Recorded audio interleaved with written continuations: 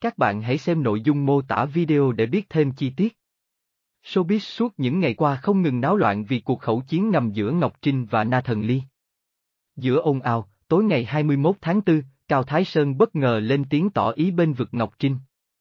Anh vạch ra bốn điều để bàn về câu chuyện này, đồng thời khẳng định dù chưa bao giờ gặp nhưng vẫn rất yêu mến nữ hoàng nội y. Dẫu vậy, trong bốn lý lẽ mà Cao Thái Sơn đưa ra, quan điểm về việc dùng hàng phết, hàng giả, lại là điều gây tranh cãi. Theo đó, Cao Thái Sơn khẳng định, Ngọc Trinh dễ thương thì xứng đáng được mọi người yêu mến. Cô ấy có xài đồ xịn hay phết, giàu hay nghèo đi cũng chẳng ảnh hưởng đến ai cả. Status bên vực Ngọc Trinh giữa drama của Cao Thái Sơn Vẫn biết rằng Cao Thái Sơn đang muốn bên vực Ngọc Trinh, nhưng đứng trên góc độ một người nổi tiếng, là nghệ sĩ của công chúng, việc khẳng định dùng hàng, pha ke, không ảnh hưởng đến ai nghe thật khó chấp nhận. Thứ nhất, việc chọn nhầm phải hàng giả hàng kém chất lượng không chỉ khiến các thương hiệu chính hãng giảm sút doanh số mà còn ảnh hưởng không nhỏ về mặt kinh tế với người tiêu dùng.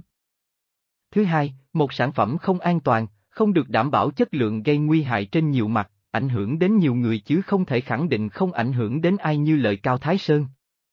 Chưa kể, một bộ phận khán giả thường có xu hướng tiêu dùng theo người nổi tiếng, theo idol nên họ sẽ tin tưởng và mua sắm các sản phẩm được các sao sử dụng. Nếu các nghệ sĩ hùa theo việc sử dụng hàng nhái, hàng giả kém chất lượng sẽ tạo nên tiền lệ xấu. Cao Thái Sơn khẳng định Ngọc Trinh có sử dụng hàng phết cũng không ảnh hưởng đến ai. Cao Thái Sơn hoàn toàn có thể đưa ra quan điểm cá nhân để bên vực Ngọc Trinh, nhưng thiết nghĩ, một người của công chúng, năm nghệ sĩ nên cẩn trọng hơn trong mỗi phát ngôn của mình.